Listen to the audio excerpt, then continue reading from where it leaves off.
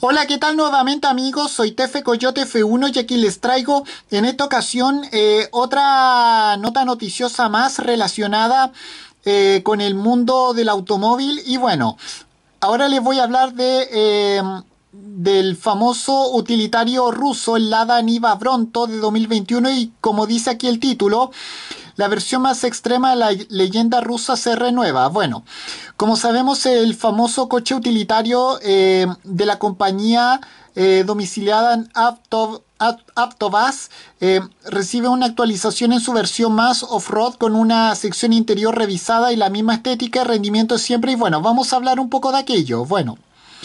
Bueno, aunque se sabe que existe una renovación completa de este modelo dentro del grupo Renault, con el Lada Niva Vision y el Lada Niva original.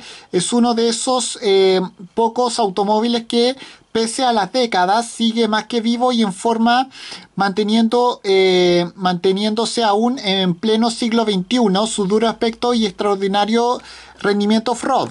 Un rendimiento que llega a su máximo exponente es la versión Niva Bronto que ahora se renueva eh, de manera ligera para seguir dando guerra. Bueno, el Bronto es la versión más dura y off-road del modelo Niva. De hecho, nació como una preparación y, eso se nota desde el primer vistazo cuando se... Eh, cuando uno se fija en las inmensas, en las enormes ruedas todoterreno y otros detalles dependiendo de qué versión. La Lux eh, posee eh, un parachoques de metal, rieles en el techo, pasos de rueda ampliados, llantas de 15 pulgadas eh, en neumático todoterreno. Sin embargo, la versión Prestige, en la, en la imagen que aparece junto a este artículo noticioso, es la que, es la que verdaderamente apuesta con eh, parachoques de plástico, una parrilla rediseñada, refuerzos de plástico para los pasos de rueda, protección para los umbrales eh, laterales y luces antinieblas. Aparte de eso, si alguien quiere apostar por la estética más aventurera y, y rebelde, de manera opcional se ofrece también pintura de tipo camuflaje para la carrocería y también posee luces, luces auxiliares para el, techo.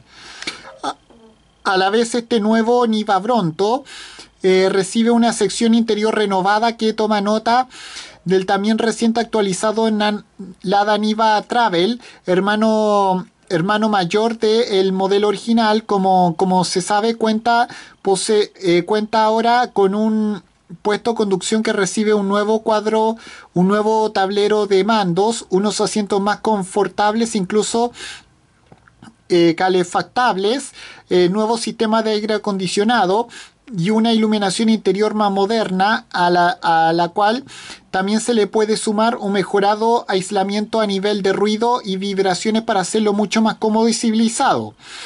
Eh, el objetivo, como se ve, es, hacer, eh, es hacerlo una propuesta que continúe siendo eh, más que válida en este actual siglo XXI, pese a que su diseño sigue siendo el mismo que los recientes 30 años.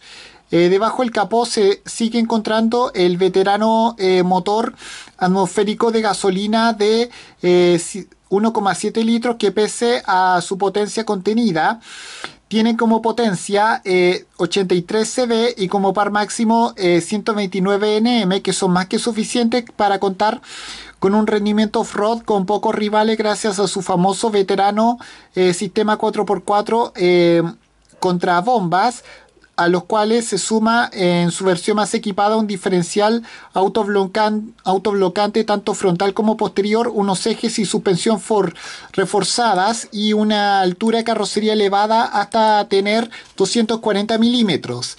Por ahora, Lada no dio más detalles acerca del precio de este modelo, aunque eh, aunque, teniendo en cuenta que su hermano el Legend eh, cuesta entre 362.900 y 717.900 rublos en, Rusia, lo que algo así como entre eh, algo así como 5.000 eh, algo así como algo así como 5.000 5500 eh, algo así como 5.500 y eh, algo así como 5, 5 y, eh, y 9 millones de pesos chilenos. Y bueno, con esto me despido. Adiós, que me fuera. Chao.